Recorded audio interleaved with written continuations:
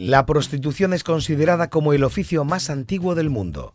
En los primeros registros históricos hay evidencia de prostitución en casi todos los niveles y todas las sociedades. Inclusive muchos estudios afirman que en las civilizaciones más antiguas ya existía esta práctica con el intercambio de algún tipo de recurso. Pero, ¿cuáles son las prostitutas más famosas de la historia? Las prostitutas más famosas de la historia. 1. 1. María Magdalena. Jesús la salvó de ser apedreada por una multitud enardecida, quienes la acusaban de ejercer el oficio de prostituta. Desde ese día, María Magdalena se convirtió en una de las seguidoras y discípulas más distinguidas de Jesús.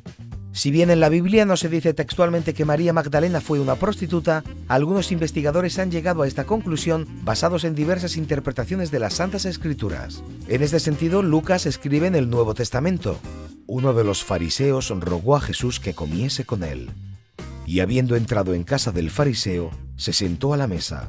Entonces una mujer de la ciudad, que era pecadora, al saber que Jesús estaba a la mesa en casa del fariseo, trajo un frasco de alabastro con perfume, y estando detrás de él, a sus pies llorando, comenzó a regar con lágrimas sus pies, y los enjugaba con sus cabellos, y besaba sus pies, y los ungía con el perfume, cuando vio esto el fariseo que le había convidado. Dijo para sí, este, si fuera profeta, conocería quién y qué clase de mujer es la que le toca, que es pecadora. Si bien en ningún momento se pronuncia el nombre de María Magdalena, se cree que este es uno de los pasajes en los cuales se habla de ella. Lo cierto es que María Magdalena es considerada la prostituta más famosa del mundo. El verdadero misterio gira en torno a si realmente ejerció ese oficio o si simplemente se trata de malas interpretaciones de la historia. 2. Valeria Mesalina.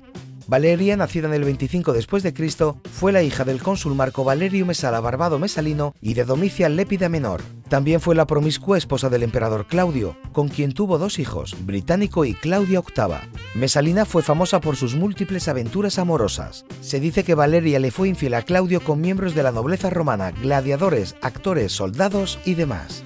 La adicción al sexo de Mesalina llegó hasta el punto de prostituirse en el barrio Subura bajo el seudónimo de Lisisca, que significa mujer loba. 3. Victorine Morent, también conocida como Louise Morin, fue una pintora y modelo francesa, quien en un determinado momento de su vida tuvo que prostituirse por necesidad. Sin embargo, años después aprendió la técnica de la pintura y comenzó a vender algunas de sus obras, con lo cual se retiró de forma definitiva del mundo de la prostitución. Esta hermosa mujer fue la musa favorita del artista Edouard Manet, y desde muy joven había soñado con volverse una importante pintora, y para poder lograrlo comenzó a posar para diversos artistas a la edad de 16 años. Muchas de estas mujeres se vieron forzadas a recurrir a este oficio por necesidad. Otras, como el caso de Mesalina, lo hicieron por pura diversión. Pero sea como sea, sus nombres quedaron ligados a esta famosa profesión que hoy en día sigue siendo un tema de preocupación para nuestra sociedad. ¿Qué te han parecido las historias de estas prostitutas? Sigue conociendo los secretos de la historia suscribiéndote a nuestro canal.